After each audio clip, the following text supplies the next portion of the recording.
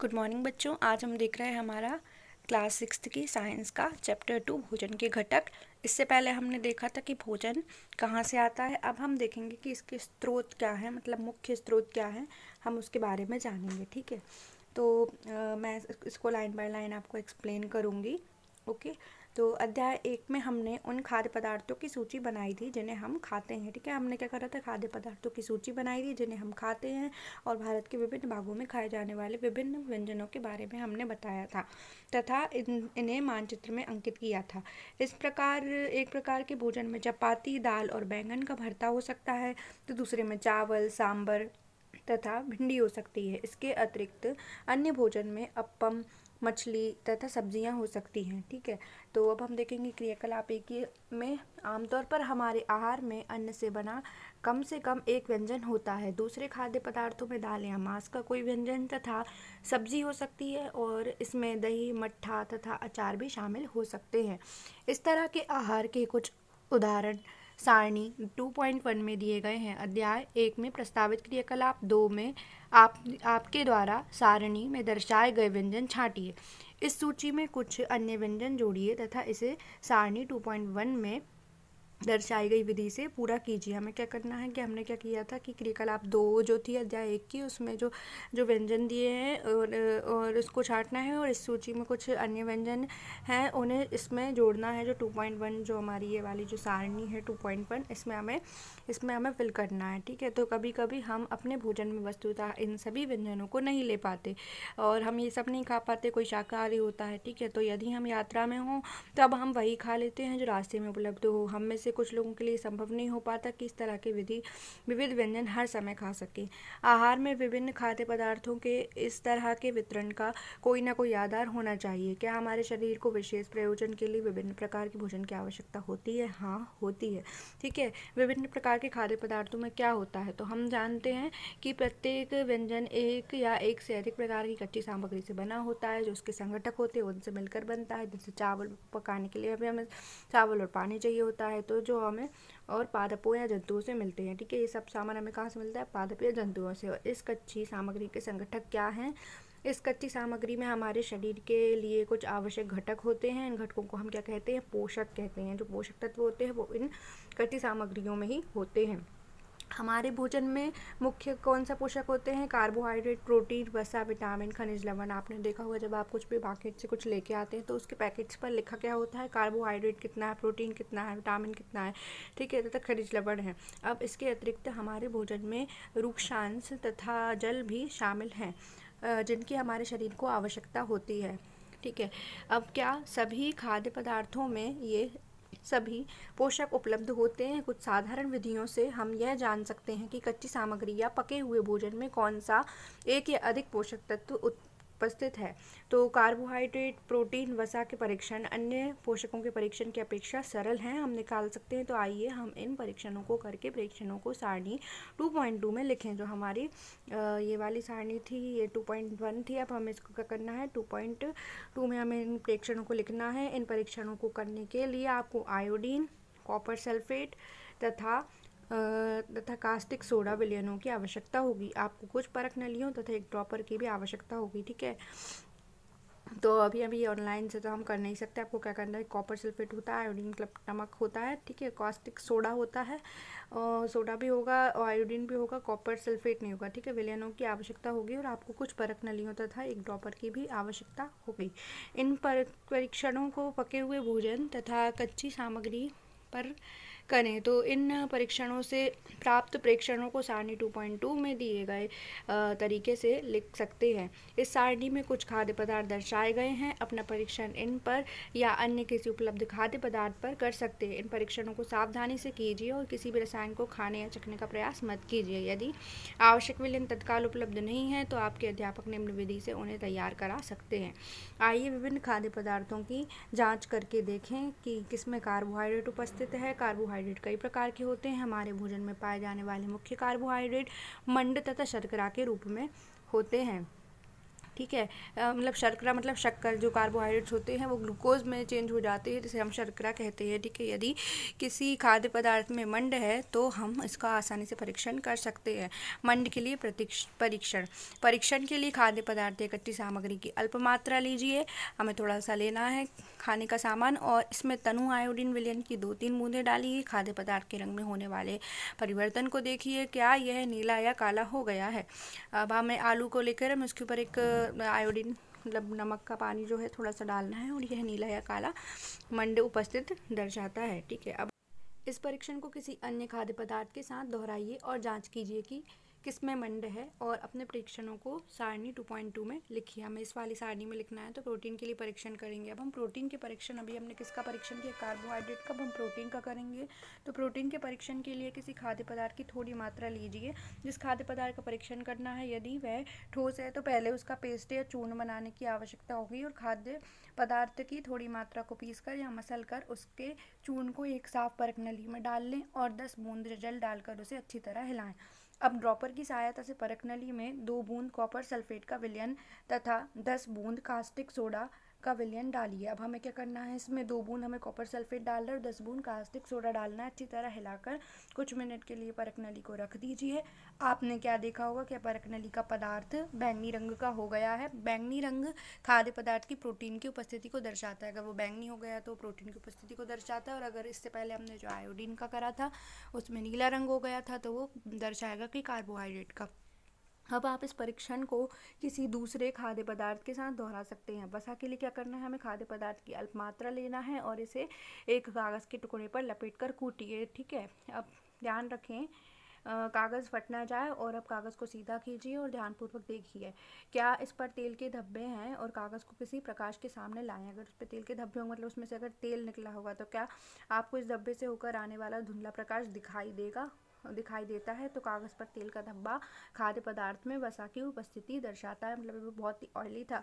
तो खाद्य पदार्थ में कभी कभी जल की भी कुछ मात्रा हो सकती है। इस दशा में इन पदार्थों को कागज़ पर धीरे धीरे रगड़िए और कुछ समय के लिए कागज़ को सुखा दीजिए, ताकि यदि खाद्य पदार्थ से कुछ जल आया हो तो वह सूख जाए और इसके बाद यदि कागज़ पर तेल का कोई धब्बा ना रहे। तो यह पता चलता है कि खाद्य पदार्थ में वसा उपस्थित नहीं है। ठीक है, अब यह परीक्षण क्या दर्शाते हैं? क्या वसा, प्रोटीन तथा मंड उन सभी खाद्य पदार्थों में उपस्थित हैं जिनका आपने परीक्षण किया? क्या एक खाद्य पदार्थ में एक से अधिक पोषक तत्व उपस्थित होते हैं? क्या आपने कोई ऐसा खाद्य पदार्थ पाया है जिसमें इनमें से कोई भी पोषक तत्व उपस्थित ना हो? तो हमने क्या तीन पोषकों, कार्बोहाइड्रेट प्रोटीन और वसा के लिए खाद्य पदार्थों का परीक्षण किया।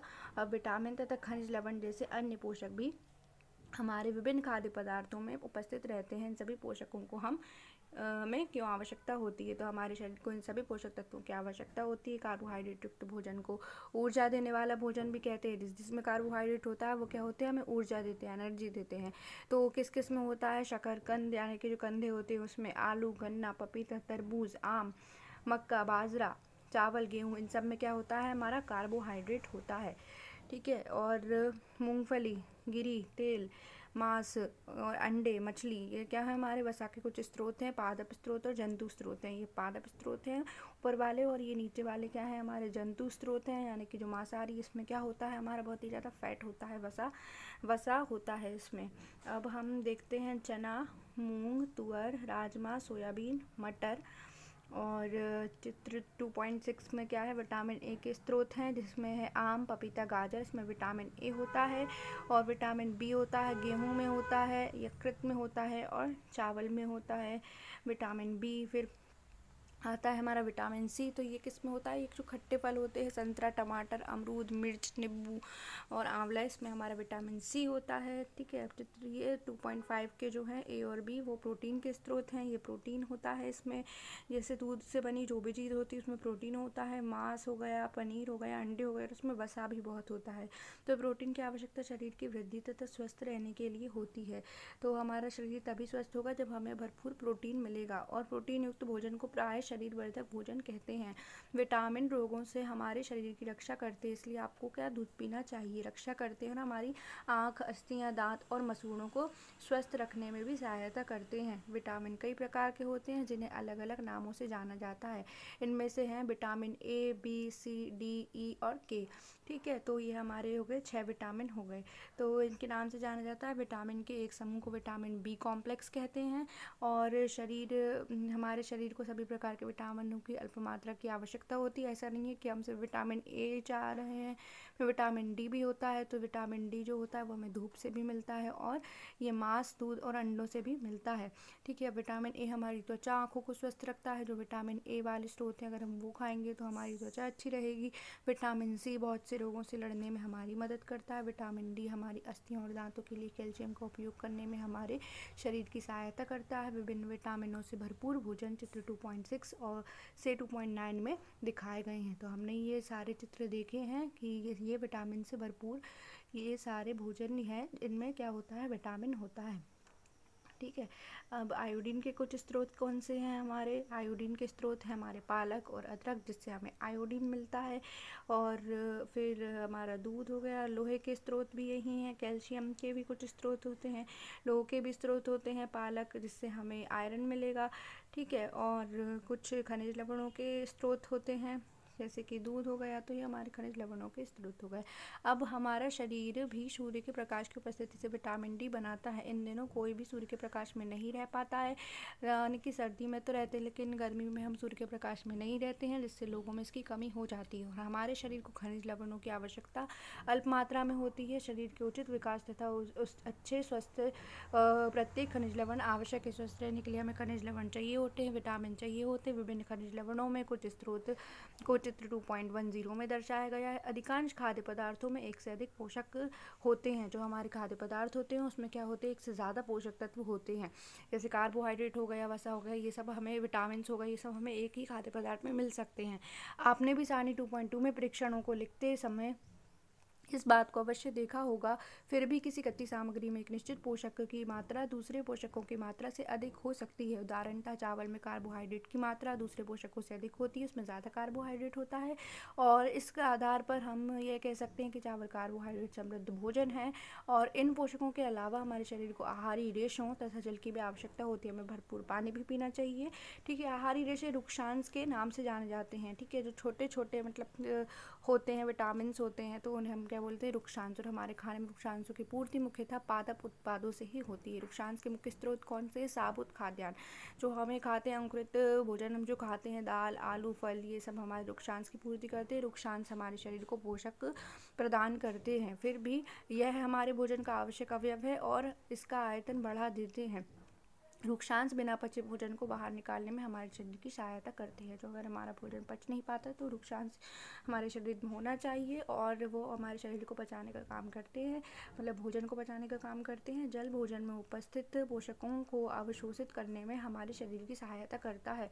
यह कुछ अपशिष्ट पदार्थों जैसे कि मूत्र तथा पसीने को शरीर से बाहर निकालने का कार्य करता है। ठीक है, जो जल होगा वो हमारे अपशिष्ट पदार्थों को बाहर निकालने का कार्य करता है, हमारे शरीर की सफ़ाई करता है। सामान्यतः हमारे शरीर को जितने जल की आवश्यकता होती है, वह हमें उन वस्तुओं से प्राप्त होता है, जिनमें हम द्रव्य रूप में लेते हैं। जैसे कि जल, दूध, चाय आदि, और इसके अतिरिक्त हम जो भी भोजन पचा, पकाते हैं, उसमें भी पानी होता है, ठीक है? तो आइए देखें कि क्या कोई अन्य स्रोत हमारे शरीर को जल प्रदान करते हैं। तो हम देखेंगे क्रियाकलाप तीन में, एक टमाटर या नींबू जैसा कोई फल ले, और इसे छोटे छोटे हिस्सों में काट लें, हमें लेना है एक टमाटर या नींबू लेना है। क्या ऐसा करते समय आपके हाथ गीले होते हैं? हाँ जब भी आपके घर में किसी फल या सब्ज़ी को काटा, छिला या मसला जाता है तो ध्यानपूर्वक उनका निरीक्षण करें। क्या ऐसा करते समय आपको किसी ऐसे ताज़े फल या सब्ज़ी के बारे में पता चलता है कि जिसमें पानी की मात्रा अधिक, मात्रा नहीं होती है, ठीक है? तो किसमें नहीं होते हैं? सेब हम काटते हैं तो उसमें हमारे हाथ नहीं गीले होते, लेकिन जब हम टमाटर, नींबू काटते हैं तो हमारे हाथ गीले हो जाते हैं आम, ठीक है? और तो इसमें पानी होता है। तो हम देखते हैं कि कई खाद्य पदार्थों में जल होता है और कुछ सीमा तक हमारे शरीर के लिए आवश्यक जल की पूर्ति इसी जल से हो जाती है। तो इसके अतिरिक्त खाद्य पदार्थों को पकाते समय हम उसमें जल डालते हैं। तो हमें क्या करते हैं कि हम उसमें पदार्थों को पकाते समय भी जल डाल लेते हैं। तो अब हम देखेंगे संतुलित आहार के बारे में कि संतुलित आहार यानी कि बैलेंस्ड फ़ूड होगा वो क्या होगा? तो सामान्यतः पूरे दिन में जो कुछ भी हम खाते हैं, उसे आहार कहते हैं। हमने पूरे दिन में जो भी खाया, वो क्या होगा? हमारा आहार। हमारे शरीर की वृद्धि और अच्छे स्वास्थ्य को बनाए रखने के लिए हमारे आहार में वे सभी पोषक तत्व उचित मात्रा में होने चाहिए, जिनकी हमारे शरीर को आवश्यकता होती है। तो हमारे शरीर को जिन जिन पोषक तत्वों की आवश्यकता होती है, वो सब उसमें उचित मात्रा में, अच्छी मात्रा में होने चाहिए। कोई भी पोषक तत्व ना आवश्यकता से अधिक और ना ही कम।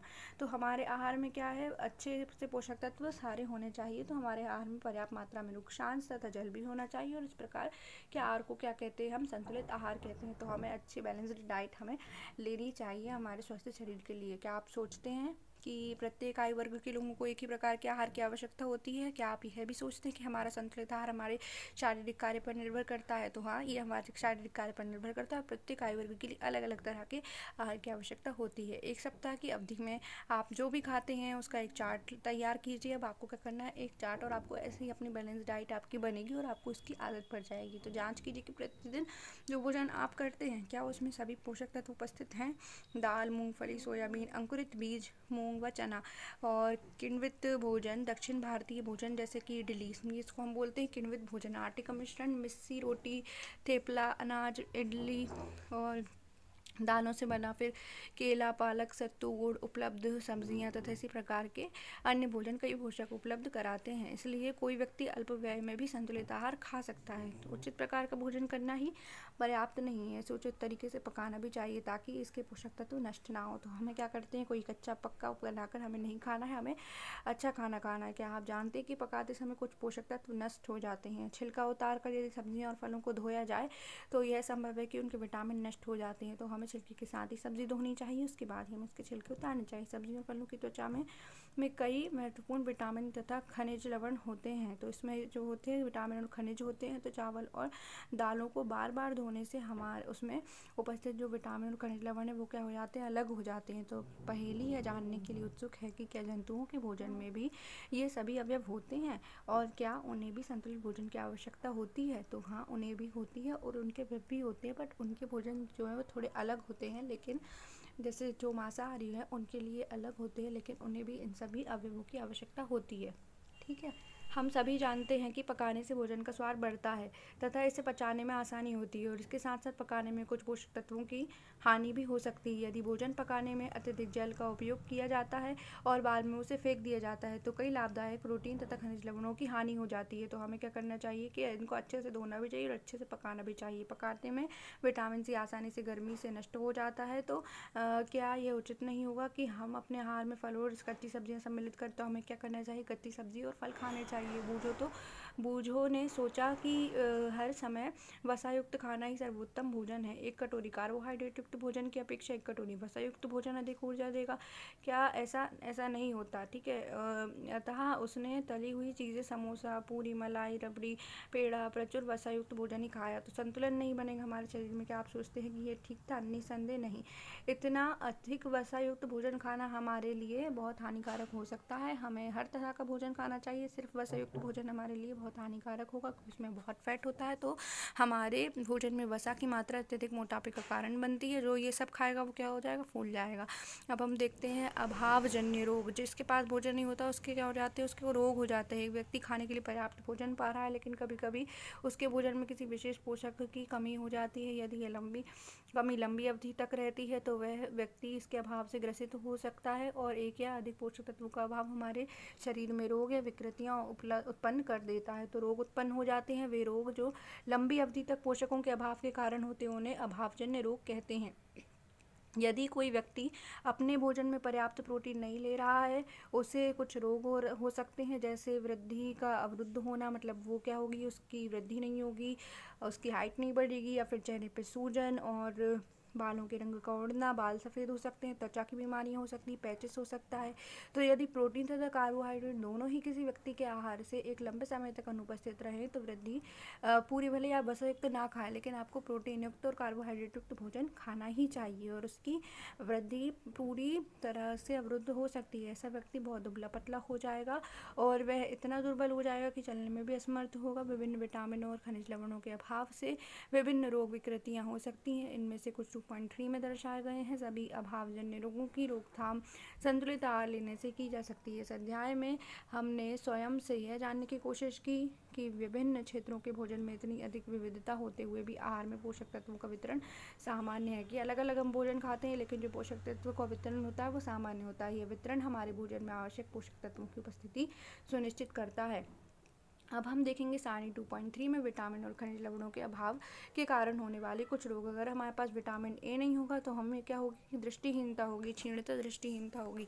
और इसके लक्षण क्या होंगे कि कमज़ोर दृष्टि और अंधेरे ही रात में कम दिखाई देना। कभी कभी पूरी तरह से दिखाई देना बंद हो जाना। फिर विटामिन बी अगर बी वन की कमी होगी तो हमें क्या होगा? बैरी बैरी हो जाएगा, बी कॉम्प्लेक्स और दुर्बल दुर्बल पेशियाँ और कम करने की, काम करने की जो ऊर्जा होगी वो भी हमारी कम हो जाएगी और विटामिन सी की कमी से स्कर भी होगा तो मसूड़े से खून निकलेगा, घाव भरने में अधिक समय लगेगा और डी अगर कम होगा तो रिकेट्स हो जाएगा, अस्थियों अस्थियों कैसी हो जाएँगी, मुलायम होकर मुड़ जाना, रिकेट्स हो जाता है, कैल्शियम की कमी से क्या हो जाती है? अस्थियाँ और दंत क्षय होता है तो कमज़ोर अस्थियाँ हो जाएँगी, दांत गिरेंगे हमारे, ठीक है? और आयोडीन की कमी से क्या होता है? हमारा गहंगा रोग होता है गॉइटर तो गर्दन की ग्रंथि का फूल जाना, बच्चों में मानसिक विकलांगता हो जाती है लोह से क्या होती है? रक्तता होती है, जिससे हम वो होती है कमज़ोरी, यानी कि हमारे अंदर कमज़ोरी आ जाती है, आयरन की कमी से। अब हम देखेंगे प्रमुख शब्द क्या थे। हमारे संतुलित आहार, बैरी बैरी एक रोग है कार्बोहाइड्रेट है, ऊर्जा एनर्जी और कार्बोहाइड्रेट युक्त भोजन हमने देखे। वसा, खनिज, पोषक प्रोटीन रुक्षांश स्कर्वी मंड और विटामिन मंड क्या था हमारा? शर्करा था। अब हम देखते हैं सारांश। हमारे भोजन के मुख्य पोषक तत्वों के नाम कार्बोहाइड्रेट, प्रोटीन, वसा, विटामिन तथा खनिज लवण हैं।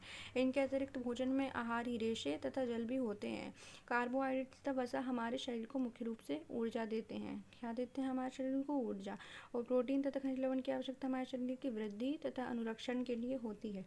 विटामिन हमारे शरीर को रोगों से रक्षा करने में सहायता करते हैं। संतुलित आहार में हमारे शरीर के लिए आवश्यक सभी पोषक तत्वों तथा पर्याप्त वृक्षांश और जल उचित मात्रा में उपस्थित रहते हैं। हमारे आहार में लंबी अवधि तक एक या अधिक पोषक तत्वों की न्यूनता से विशिष्ट रोग तथा विकार उत्पन्न हो सकते हैं। अब हम देखेंगे हमारे क्वेश्चन हमारे भोजन के मुख्य पोषक तत्वों के नाम लिखिए। तो हमारे, हमने जो भी इसमें पोषक तत्व पढ़े हैं कार्बोहाइड्रेट विटामिन और वसा तो हम इन सब के हमें नाम लिखना है। तो निम्नलिखित के नाम लिखिए। पोषक जो मुख्य रूप से हमारे शरीर को ऊर्जा देते हैं पोषक जो हमारे शरीर की वृद्धि और अनुरक्षण के लिए आवश्यक हैं। वह विटामिन जो हमारी अच्छी दृष्टि के लिए आवश्यक है, हमारी अच्छी दृष्टि के लिए कौन सा विटामिन आवश्यक है? विटामिन ए हमें बस इनके नाम लिखना है तो वह खनिज जो अस्थियों के लिए आवश्यक है। और तो आपको इस चैप्टर को देखने, समझने के बाद आपको इनके आंसर्स खुद लिखने हैं और उसके बाद में आपको डिस्क्रिप्शन में आपको इस आंसर्स के लिए पीडीएफ प्रोवाइड कर दूँगी और दो ऐसे खाद्य पदार्थों के नाम लिखिए जिनमें निम्न पोषक प्रचुर मात्रा में होते हैं। वसा, मंड, आहारी रेशे प्रोटीन तो हमें इसमें नाम लिखने हैं इनके कि वसा किस किसमें होता है और ऐसे दो नाम लिखने हैं, ठीक है? फिर केवल अभी ये कि हमारे सही गलत हैं और केवल चावल खाने से हम अपने शरीर की पोषण आवश्यकता पूरा कर सकते हैं। क्या संतुलित आहार खाकर अभावजन्य रोगों की रोकथाम की जा सकती है? शरीर के लिए संतुलित आहार में नाना प्रकार के खाद्य पदार्थ होने चाहिए। शरीर को सभी पोषक तत्व उपलब्ध कराने के लिए केवल मांस पर्याप्त है। खालिस्तान विटामिन डी के अभाव से होता है। खालिस्तान की कमी से बैरी बैरी नामक रोग होता है। विटामिन सी के अभाव से खालिस्तान रोग होता है और हमारे भोजन में खालिस्तान के अभाव से रतौंधी होता है। ठीक है, अब प्रस्तावित परियोजना क्रियाकलाप भी आपको करना है। एक बारह वर्ष के बच्चे को एक संतुलित आहार चार्ट तैयार कीजिए और आहार चार्ट में उन खाद्य पदार्थों को सम्मिलित करें, जो खर्चीले ना हो तथा आपके क्षेत्र में आसानी से उपलब्ध हो। तो आपको ये सारे क्रियाकलाप करने हैं, जो तीनों क्रियाकलाप दिए हैं इसमें। आप इसको ठीक से पढ़ लीजिए और आपको ये सारे क्रियाकलाप करने हैं। ओके? आप इसको पढ़ लीजिए पॉज करके।